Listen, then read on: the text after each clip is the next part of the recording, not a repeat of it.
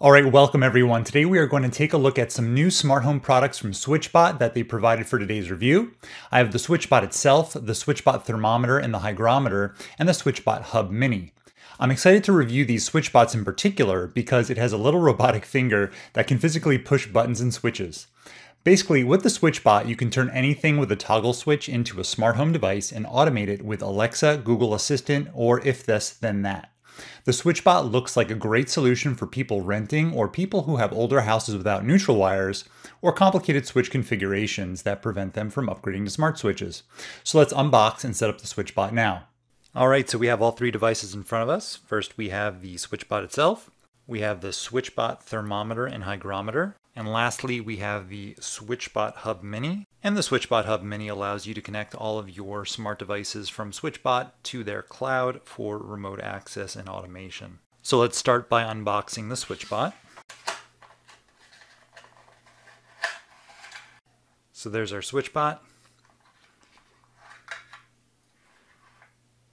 For the SwitchBot to do its job, it needs to firmly be connected to some sort of flat surface. So it comes with spare adhesive 3M mount strips, and these little guys here are for actually pulling the switches. So if you're wondering if this is only pushing switches, how does it turn it off? There's a mode where um, if it's in light switch mode, this little finger can pull. So you attach this to the opposite side of your light switch to get that going, and we'll show that a little bit later.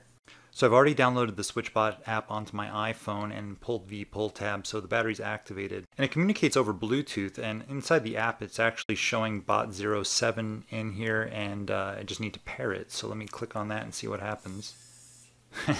That's pretty cool. So I'm geeking out over this a little bit too much, but this is my first physical smart device and that's kind of neat. It's like a little robot. I'm going to have a lot of fun with this later.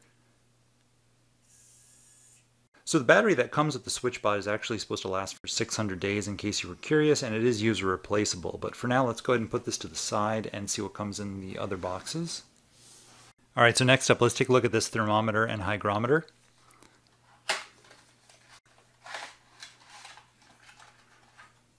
So I kind of like the form factor on these things. They're pretty small, simple packaging. It's like good design, but we will test that and see how they actually work. All right, so as you can see, we have our little standard like sticker that shows what the LCD screen is going to look like. So we'll take that off. And there's a battery compartment on the back here. We'll set up with their included batteries.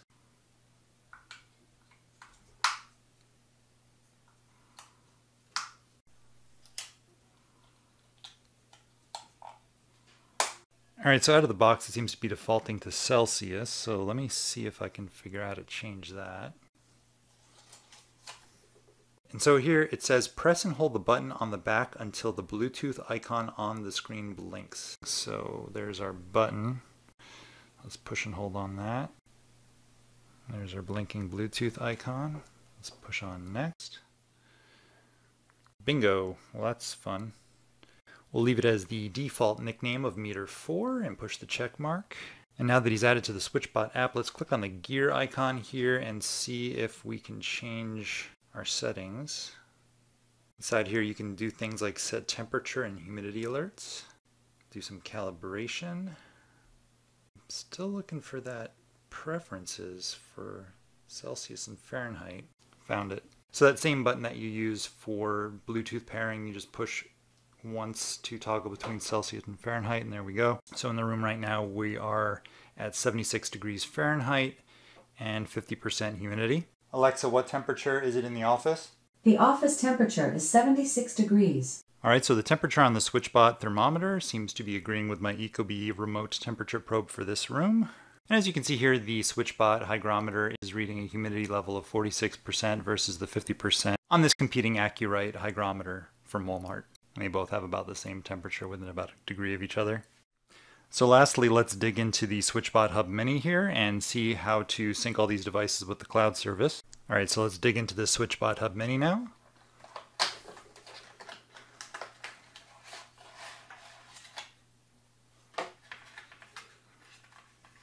Okay, looks like we have a standard USB cord included, more 3M adhesive backings,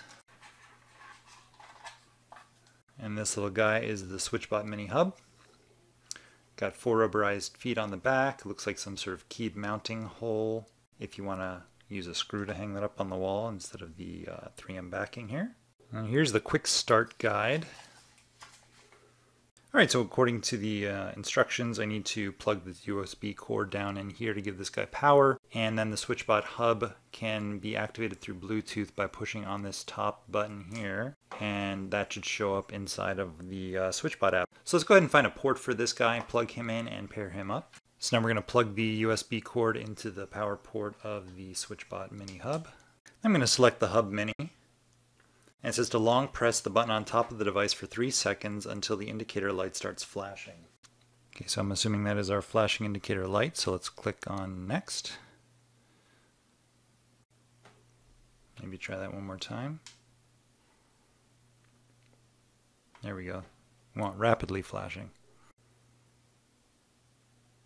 So now that things are paired, what we can do is connect that to our Wi-Fi network. So I'm just going to go ahead and enter that off screen now and it paired successfully. So not only does this little SwitchBot Mini Hub allow you to control all of your SwitchBot devices and synchronize it with the cloud, Alexa, Google Assistant, and if then then that, it also has an infrared blaster inside of it so that when you're inside of the SwitchBot application here, you can go under Add Device and add something like your TV, select your hub, and select your model of television. And then under Smart Learning, you can just go ahead and push that button and pair it with your remote. And once you have your TV remote successfully paired, you can see it under your available hub devices. So I'll push on TV and you can see it gives you a nice display of your television remote control. So for example, if one of your kids leaves the room and forgets to shut off the television, you can go ahead and do that remotely by uh, pushing the power button here or screaming, Alexa, turn off the TV. Okay. All right, so now we're in my kitchen and I'm gonna use the SwitchBot here to control this light switch that is a common pass-through for the house that often gets left on.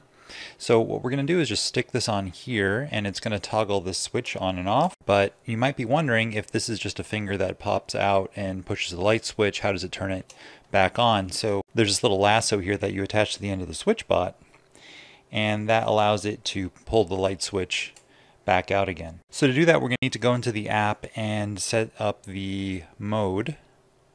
And we're going to change it from press mode to switch mode. We're going to confirm that setting.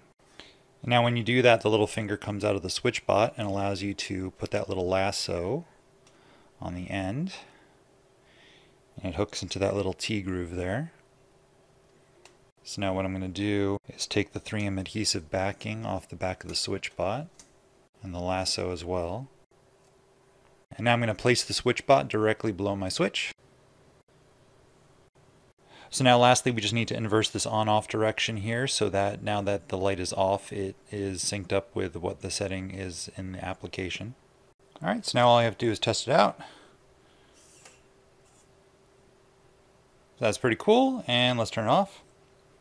I've also synced it up to the cloud, so let's tell Alexa to do it. Alexa, turn on the SwitchBot. Okay. Alexa, turn off the SwitchBot. Okay.